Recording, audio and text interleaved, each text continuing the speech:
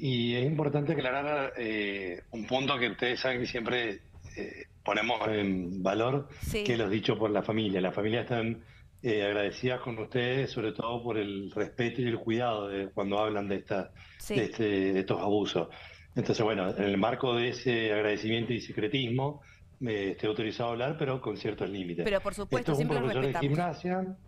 Sí, sí, por eso lo digo, porque me lo han hecho ya la devolución y aprovecho para, a través de ustedes, en un medio tan masivo como Canal 7, para decirlo. Gracias. Esto, es un profesor de gimnasia que de, perdón, de hockey, donde las actividades las desarrollaban en el Club Godoy Cruz y en un lugar prestado por la Municipalidad de Godoy Cruz. Hasta donde sabemos, era no empleado de la municipalidad, sino que la municipalidad le daba el lugar. Bien. Esto será responsabilidad de otro tipo, pero no penales, ¿no? Porque hay que aclarar esto.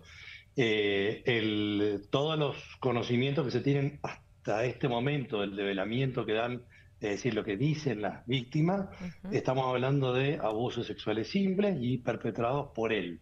Que este profesor de inferiores, de una manera didáctica de llamarlo, ¿no? claro. De niñas y adolescentes, y de, tengo entendido, nivel superior. ¿Por qué me manejo en lo abstracto? Es un dato muy importante y que tiene que ver con la detención y un poco pedagogía en estos casos que, gracias a ustedes, repito, cada vez más eh, se empiezan a develar, se animan.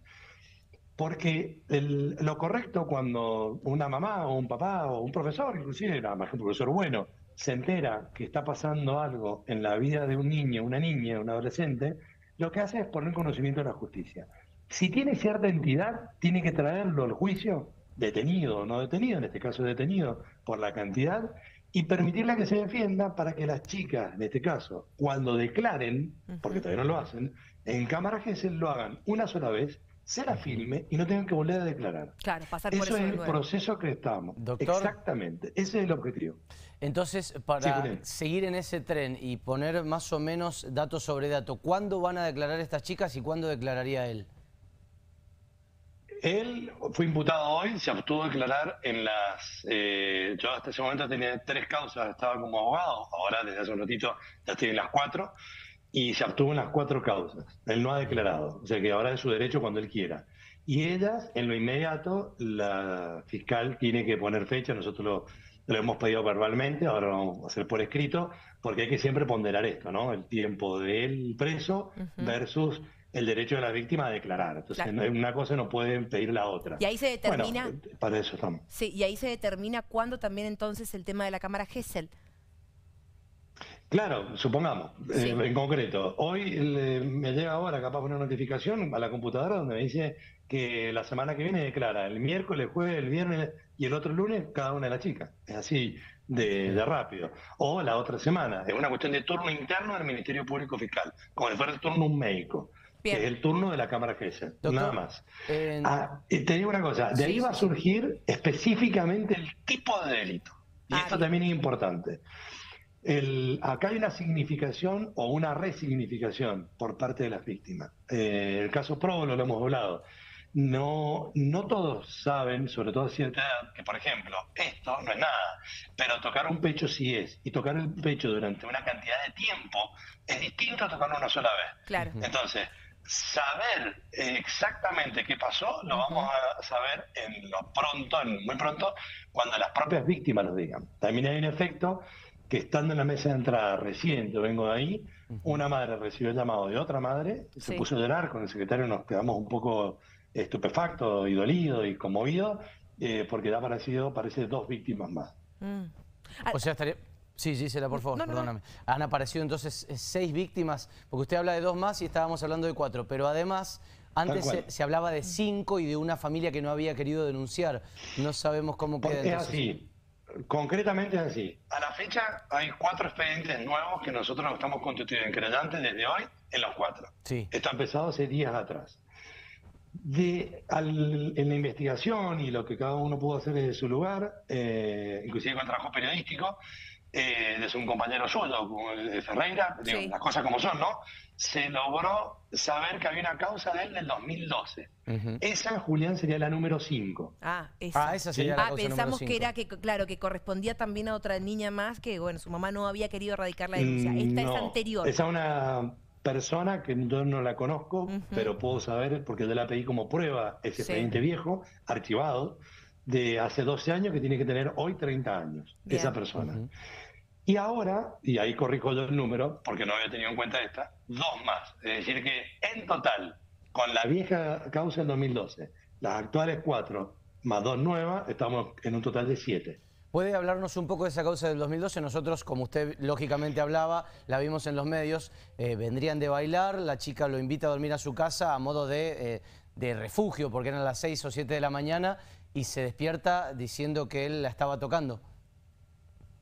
Sí, es tal cual. Eh, el tocando es con acceso. Entonces, es una causa, eh, como un nombre en, en, castellano castillo, ¿no? Una violación. Una violación, Y la causa terminó archivada. No, yo, el análisis que he hecho ahora, muy rápido, realmente acabo de tener el PDF hace 40 minutos, he llevado a mi lugar de trabajo después de, de obtenerla y he leído por arriba.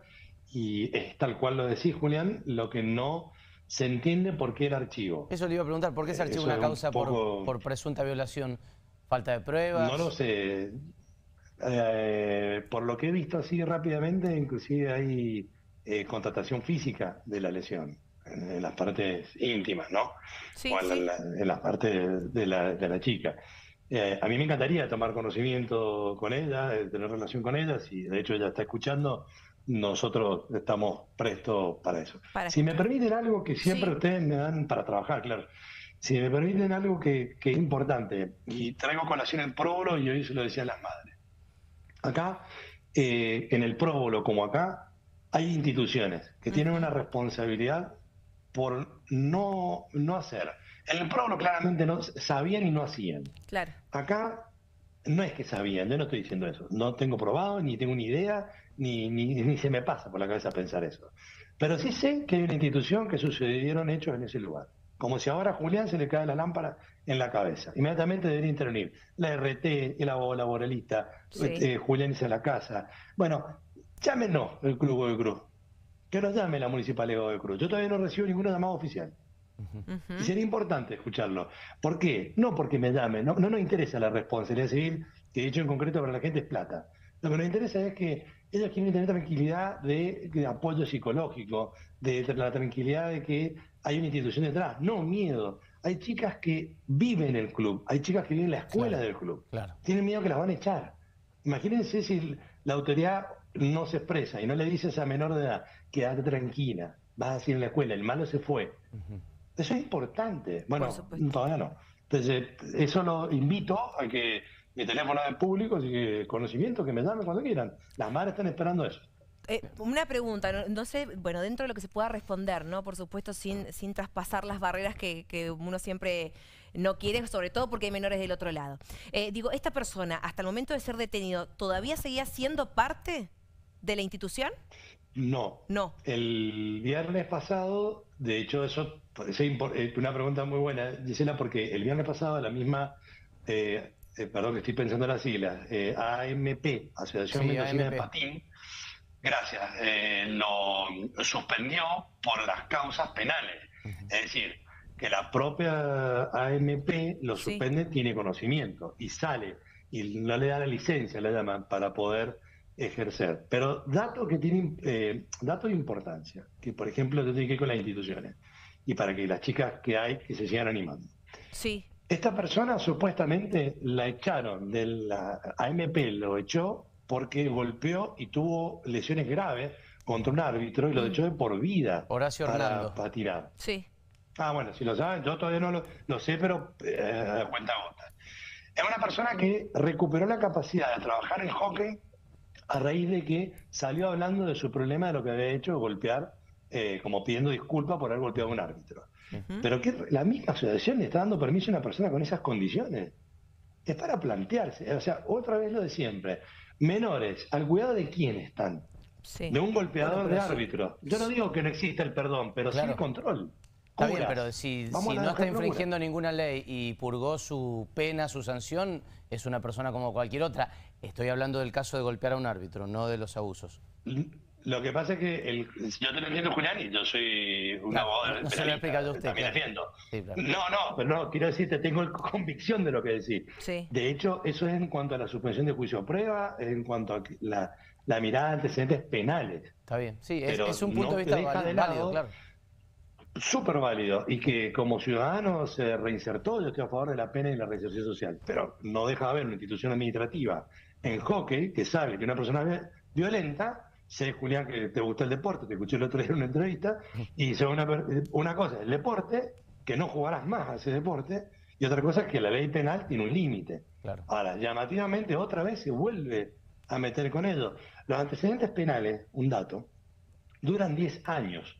Y por lo que tengo entendido, este antecedente penal es no de hace tanto, de 10 años. Es de 2016, si mal no recuerdo. O sea que cualquier persona que lo contrató tuvo que haber visto los antecedentes penales de él. Claro, datos a tener en cuenta para después el control y demás, el seguimiento y todo.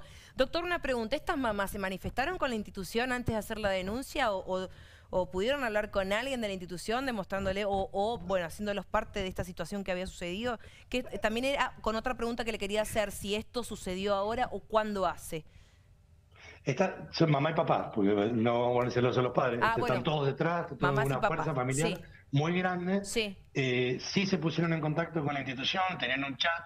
Lo que yo hice fue, bueno, a partir de ahora que empiecen a hablar conmigo y ahí se cortó el diálogo. Ah. Fíjense lo llamativo. Cuando uno se pone a investigar, se acabó el diálogo. No hubo más eh, participación. Eh, y la institución no tenemos más noticias desde ya varios días. ¿Y cuándo ocurrió? Ah, también. Es contemporáneo, es de estos días, no, es de, no estamos hablando, eh, no decía específicamente la fecha, pero estamos hablando de, ahora, muy reciente. Hay casos de un fin de semana anterior y el miércoles anterior. Ah, estamos hablando de tan seguido como eso. Hay otros que dicen que ha sido en un largo tiempo este nuevo hecho que me están contando. Pero por eso digo, la especificidad del hecho la van a dar las propias víctimas. Bien. Que es muy importante que estén tranquilas, eh, que les llegue que la idea es que la persona se encuentre privada de libertad, rápidamente se sepa y rápidamente se resuelva la situación, para la libertad o para la privación de libertad, pero que sea legítima y que las víctimas tengan lo que se llama la tutela judicial efectiva.